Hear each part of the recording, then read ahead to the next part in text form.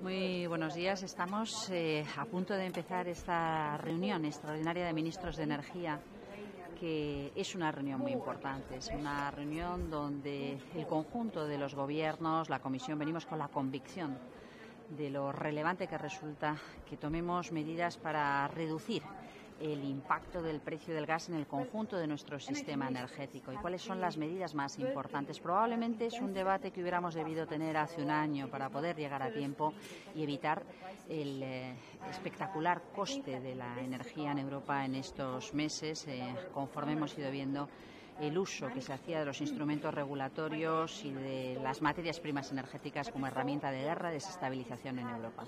Es un debate al que venimos eh, todos convencidos de la necesidad de llegar a un acuerdo, a una orientación que permita a la Comisión presentar propuestas la semana que viene, porque necesitamos respuestas urgentes, como decía el regulador energético, nuestra regulación no está preparada para situaciones de estrés y necesita ser mejorada para resistir a la evolución de futuro. Así que necesitamos dos cosas. Medidas urgentes, excepcionales, que reduzcan los precios que estamos viendo y necesitamos activar cuanto antes una reflexión sobre cómo hacer evolucionar el funcionamiento del mercado mayorista en el ámbito europeo. Se abren otros debates que también son significativos. Estamos en condiciones o no y en qué términos de poder dar señales de cuál es el precio al que estamos dispuestos a comprar el gas natural, el gas natural procedente de Rusia por tubería o eventualmente cuál es el precio al que estaríamos dispuestos a comprar el gas natural procedente de otras fuentes, que quizá no es tan urgente, pero obviamente necesita transparencia con respecto a la configuración de precios en las plataformas compra.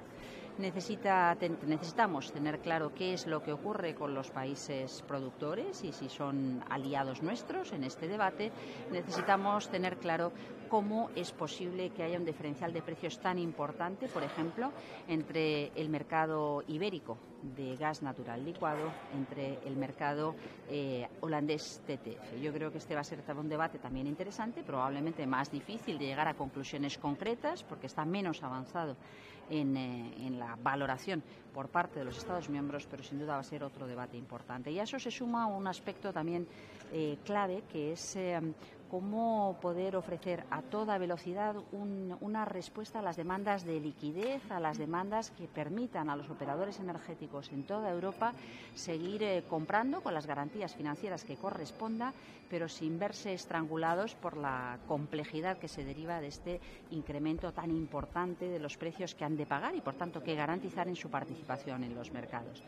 España llega con una voluntad constructiva, llegamos contentos, creemos que debemos compartir con nuestros compañeros lo que ha sido la experiencia de la aplicación de muchas de las medidas y propuestas que aparecen recogidas en las reflexiones que se han ido conociendo estos días y que todavía no constituyen ninguna base concreta de negociación ni ninguna propuesta concreta de regulación, pero que nos han permitido reflexionar sobre cuáles son las mejores herramientas. Probablemente necesitamos combinar distintas herramientas para ser eficaces en la reducción de precios de la electricidad, para asegurar una contribución justa por parte de todos los operadores, es inviable que esta reducción del precio de la electricidad se haga solo sobre la base de las contribuciones de los presupuestos públicos de los Estados. Es importante trabajar en esos sistemas de tasas, de impuestos, de contribuciones de los grandes operadores energéticos que ven cómo crecen sus ingresos de forma muy importante. Es también relevante trabajar en otros aspectos como son el prepararnos para el siguiente invierno, el trabajar en las complementariedades, el buscar cómo acelerar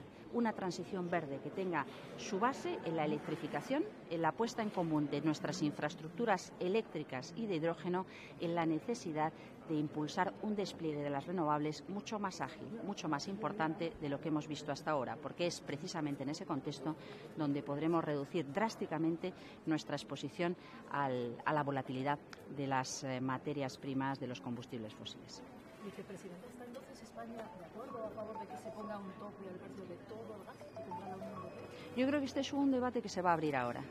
Creo que es importante eh, entender cómo se configuran los precios y cuál es el papel de los, de los traders, de los, de los eh, agentes que intercambian estas materias primas, a qué precio lo compran, a qué precio lo venden. Sabemos poco, si algo hemos aprendido es que es un mercado muy poco transparente y probablemente el precio de llegada de aduanas está muy por debajo del precio de venta que aparece reflejado en los mercados mayoristas, en el TTF o en el MIGAS. Por tanto, hay algo que debemos eh, mejorar en ese, en ese aspecto. También debemos asegurar, obviamente, que una señal en la que no acertáramos con el, con el precio, con la indicación, eh, pudiera tener consecuencias eh, que no deseamos. Así que yo creo que es, que es un momento para debatir sobre cuál es la mejor estrategia para trabajar en este, en este campo y donde yo sí creo que obviamente hay un acuerdo importante es en algo que ya se ha descontado y es la necesidad de, de enviar una, un mensaje al, al gas eh, que se exporta desde Rusia por tubería. ¿Es el gobierno español que todas las medidas deberían ser voluntarias o eh, obligatorias? Yo creo que hay una combinación de medidas voluntarias obligatorias. Creo que en estos casos es importante pensar, uno, en el impacto en las personas, en las familias. Las medidas que adoptemos deben ser medidas que tiendan a favorecer la protección de las familias, que tiendan a proteger al tejido productivo, al tejido industrial eh, sabiendo que necesitamos un funcionamiento transparente que no rompa el mercado interior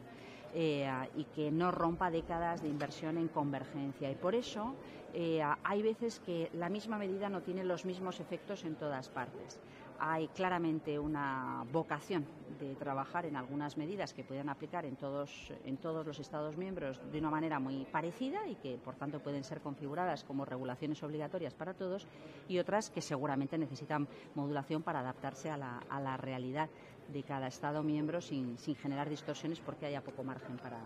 para introducir eh, el mismo tipo de medida en todos sitios. ¿El ahorro de electricidad debería ser voluntario o obligatorio? Yo creo que es una buena idea la propuesta de ahorrar electricidad. Es cierto que hay márgenes distintos y es cierto que esta, este mensaje que traslada la Comisión de intentar buscar ahorro de electricidad en las horas pico, en las horas en las que más demanda hay, para que se necesite eh, menos gas natural funcionando en el mercado, es, es importante, es una, es una buena idea. A partir de ahí hay que ver también cómo es la estructura de demanda en cada Estado miembro. Hay Estados miembros donde a lo mejor se, hay hay poca trayectoria de reducir esas horas pico y hay Estados miembros donde se ha avanzado ya en mucho en esa dirección y por tanto es algo sobre lo que vamos seguro a tener un intercambio muy, muy interesante esta mañana. Es importante que sea para todos igual, se da margen para que cada Estado miembro pueda activar su, su manera de, de, reducir, de ahorrar consumo eléctrico de forma distinta. Pero, pero será sin duda, como digo,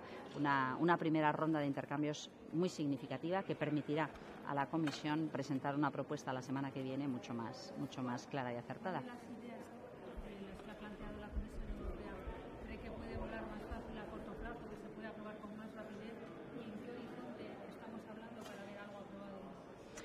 Yo creo que las ideas que, que, estamos viendo y que se están debatiendo no son excluyentes. Muchas de ellas pueden y deben ser aprobadas simultáneamente y a mi juicio es urgente hacerlo ya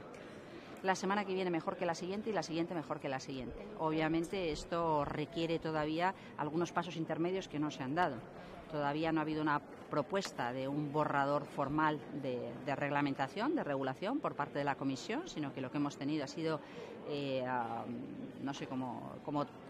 cómo expresarlo, ideas flotando en el aire para, para activar nuestras, nuestra reflexión, pero no ha habido ningún documento oficial. Ha habido una primera presentación por parte de la presidencia del Consejo, pero no hay un documento oficial por parte de la Comisión. Lo veremos la semana que viene. Agradezco el modo de proceder de la Comisión en esta ocasión. Me parece que es bueno el tener. Eh, muy cerca el sentir y el intercambio de impresiones de todos los gobiernos para, para, poder presentar propuestas que se ajusten más al sentir de todos, en vez de presentar primero propuestas que nos pillen por sorpresa a todos y entonces tengamos que estar todos viendo cómo, cómo ajustamos con esa voluntad, que quizás otro mensaje importantísimo de hoy, esa voluntad con la que yo creo que llegamos todos para salir de aquí con, con un acuerdo y con propuestas constructivas y eficaces. ¿Qué día exactamente de la semana que viene? Bueno, veremos, eso ya no depende. Eh, con arreglo a las pautas de funcionamiento de la comisión, de la reunión del Colegio de Comisarios, tendremos que ver.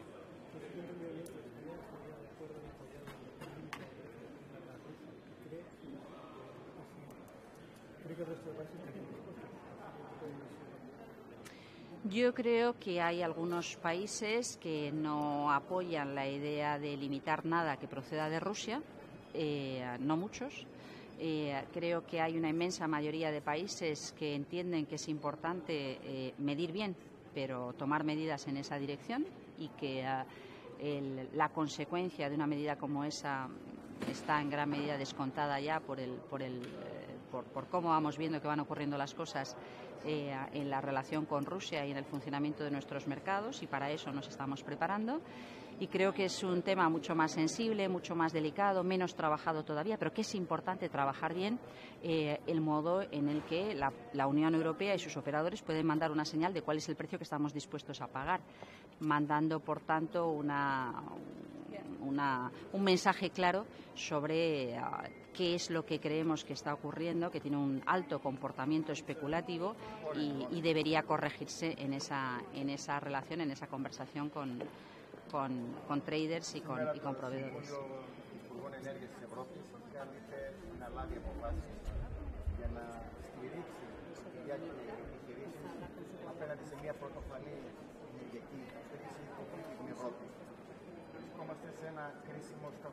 Yo creo que hay una, una, parte del diálogo de esta mañana que tiene que ver con cómo nos estamos preparando para el próximo invierno,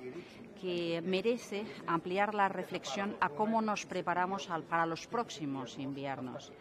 Creo que en ese contexto tenemos una gran oportunidad para fortalecer las políticas energéticas europeas, inspirándonos en lo que han sido siempre los principios que hemos querido aplicar, la complementariedad de nuestras infraestructuras, la mayor electrificación, la anticipación del hidrógeno verde. Y en ese contexto me parece que un debate sobre cómo combinar las infraestructuras, cómo permitir que el grupo técnico que nos eh, ha de ofrecer el mapa de interconexiones que nos permita estar mejor preparados para el próximo invierno recibe instrucciones de cuál es la idea concreta que nos, eh, que nos permita llegar con éxito al invierno 23-24 es importante. Así que yo sí creo que el debate de las infraestructuras y las interconexiones en relación con la seguridad energética de Europa para los próximos años, la anticipación de esos objetivos de electrificación y de participación de hidrógeno verde son importantes. Y me parece que es algo que aparece reflejado de algún modo en esa idea muy repetida por algunos Estados miembros de que mm, lo que tenemos que hacer en este momento es acelerar, agilizar la transición energética. Por tanto, más electrificación, más energía renovable, más integración del conjunto del, mercado energético en Europa, eh, con independencia de, cuál pueda ser la, prioridad local, la prioridad nacional y buscando cómo resolver, obviamente, los, los problemas que podamos tener cada uno desde el punto de vista técnico y financiero. Muy bien, gracias.